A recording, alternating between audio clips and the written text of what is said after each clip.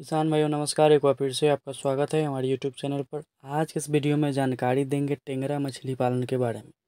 पिछले कुछ दिनों से हम आपको जानकारी दिए हैं सिंगी, देसी मांगुर, पटिया और गैंची के बारे में कि इनका फ़ार्मिंग आप रोहू कतला के साथ अगर करते हैं, बच्चा डाल देते हैं रोहू कतला के साथ तो बहुत ही अच्छा आपको बेनिफिट देखने को मिलता है।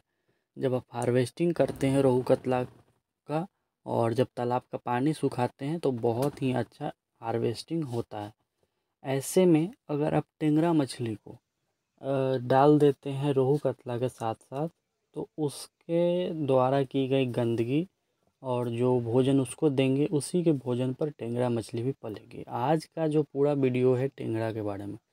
दोस्तों, ये सब जो है टेंगरा हो गया, सिंगी हो गया, देसी मांगुर हो गया चाहे आपका पटिया गैंची हो गया, ये चार मछलियाँ, पाँच मछलियाँ ऐसी है जो रोहू कतला के साथ बड़े आसानी से रह सकती है, बिना उनसे भोजन में कोई भी प्रतिस्पर्धा करके कंपटीशन करके, और भोजन करने में उन्हें कोई डिस्टरबेंस नहीं करती है, ना उनके शरीर पर कोई अटैक करती है, ना कोई नुकसान पहुंचाती है।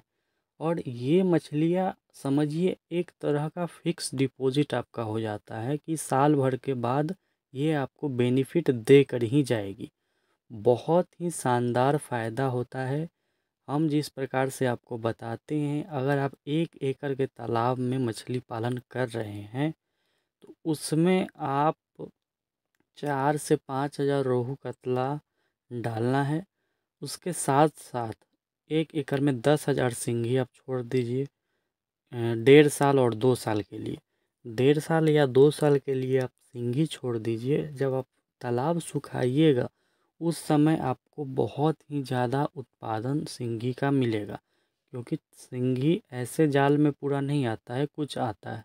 देसी मांगुर का भी यही हाल है और गैंची एकदम जाल में नहीं आता है, उसके लिए तालाब पूरा सुखाना पड़ता है। और जब टेंगरा की हम बात करें तो टेंगरा जाल में आता है, लेकिन जब आप पानी पूरा निकालिएगा तो पूरी तरीके से टेंगरा मछली का हार्वेस्टिंग होता है।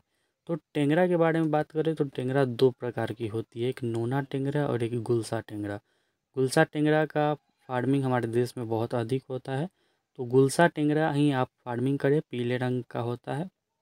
गुलसा टेंगरा बहुत बड़ा नहीं जाता है बहुत बड़ा होगा तो साठ ग्राम, सत्तर ग्राम तक टेंगरा जाता है। इसी में मार्केट में ये सेल होने लगता है और मार्केट रेट की हम बात करें, हम अपने बिहार की बात करें तो यहाँ आठ सौ रुपये, सात सौ रुपये, छः सौ रुपये सीज़न के अनुसार और बिहार में कई जगह पर, जैसे नेपाल साइड में, रक्सौल साइड में, ये बारह सौ रुपये किलो, एक हज़ार रुपये किलो सेल होती है। तो आप अपने पहले मार्केट को पता कीजिए और फिर टेंगरा मछली का फ़ार्मिंग कीजिए। टेंगरा फ़ार्मिंग बहुत ही प्रॉफिटेबल बिज़नेस है।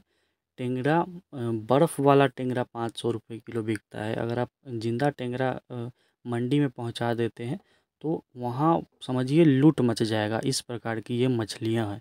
टेंगरा हो गया, कवई हो गया, देसी मांगुर हो गया, सिंगी हो गया, ये सब कुछ मछलियाँ हैं जो हाई वैल्यू फ़िश है।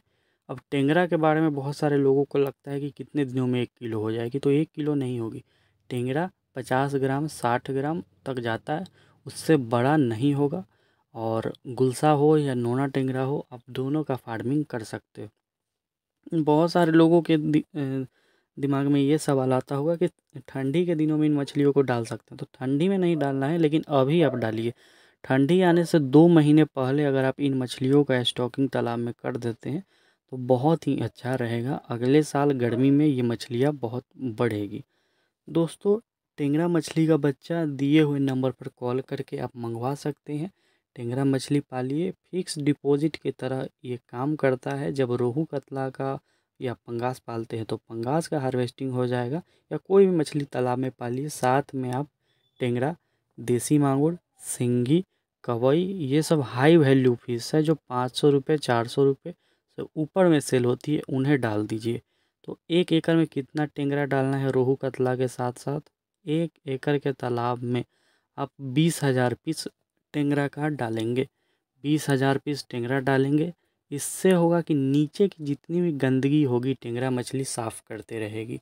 और एक बार आप हार्वेस्टिंग ले लीजिए टेंगरा का, उसके बाद भी कुछ टेंगरा अगर बच गया तालाब में तो वो बच्चे कर देगी। फिर वो बढ़ेगी तो ये प्रोसेस जारी रहेगा।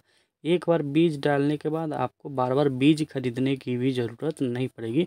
टेंगरा तालाब में ब्रीडिंग भी कर देती है, खासकर अभी के समय में। तो जिन किसान भाइयों को टेंगरा का बच्चा चाहिए, दिए हुए नंबर पर कॉल करके आप मंगवा सकते हैं। रोहू कतला के हार्वेस्टिंग के बाद दो से तीन लाख तक का आपका सिंघी देसी मांगुर या टेंगरा, जो भी डालिए आपका ज़रूर से ज़रूर सेल होगा। बस सही मार्केट, सही जगह पर आप बेचिए, सही सीज़न में बेचिए। दिए हुए नंबर पर कॉल करके टेंगरा का बच्चा मंगवाइए। नोना टेंगरा, गुलसा टेंगरा, देसी मांगुर, सिंगी, कवई, सभी के बच्चे उपलब्ध हैं।